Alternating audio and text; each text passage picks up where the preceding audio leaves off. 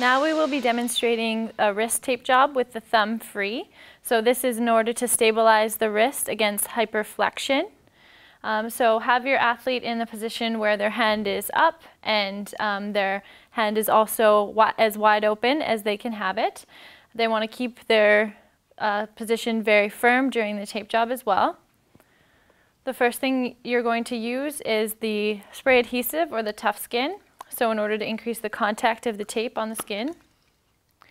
So just make sure when you're spraying that you keep the spray away from the athlete's face. Again, you don't need a very uh, generous amount, just a little bit of a spray. Pro Wrap will help protect the athlete's arm hair, so you want to make sure you're using that as well. Wrapping that around. When you're coming through to the thumb, you can kind of pop a little hole in there so that it fits right over the thumb.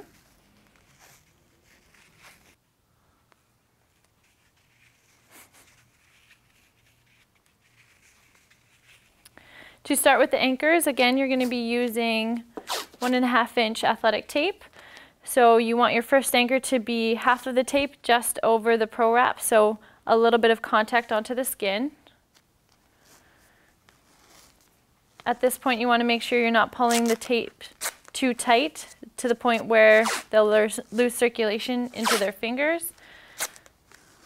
But just a moderate tension is fine. When you're coming up towards the wrist, you want to angle the tape forwards towards their fingers to follow kind of the anatomy of the wrist there. The tape will naturally follow that angle. So now we have our anchor along the forearm. The next thing we're going to do is create the anchor near the finger side of the tape job. So you want to start with this tape just below the knuckles of the athlete. So you don't want to cover the knuckles and prevent them from being able to move their fingers. At this point, you definitely want to make sure their hand is nice and wide.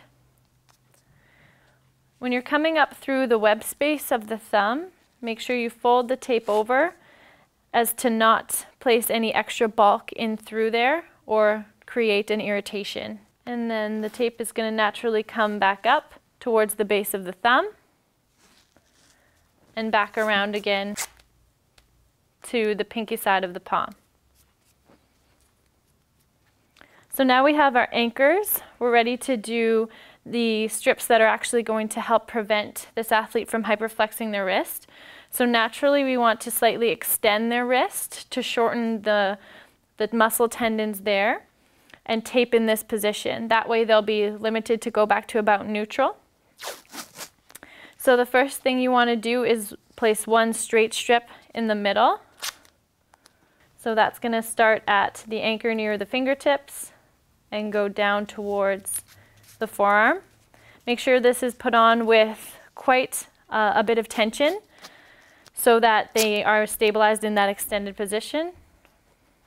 The next piece of tape is going to go from the pinky side to the thumb side and cross over in a diagonal manner. And the third piece same concept, but from the thumb side over to the pinky side. Again, placing a moderate amount of tension through that one. So I'm going to repeat that two more times and overlap slightly to create a greater surface area for this to hold. So starting with that center piece there, one diagonally from the pinky to the thumb side, and another diagonally from the thumb side to the pinky side.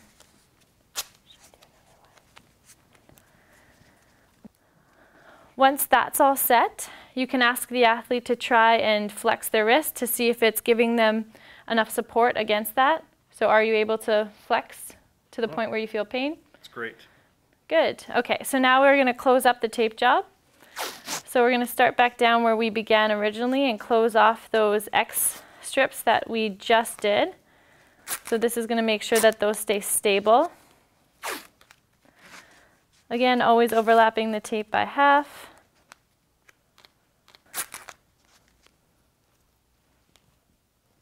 And then angling upward when you're coming right at the wrist to follow the angle there.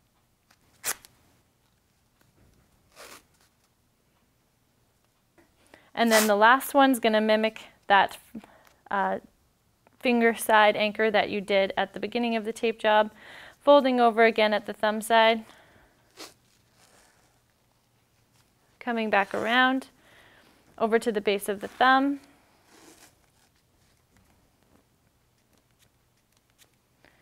and finishing there on the pinky side.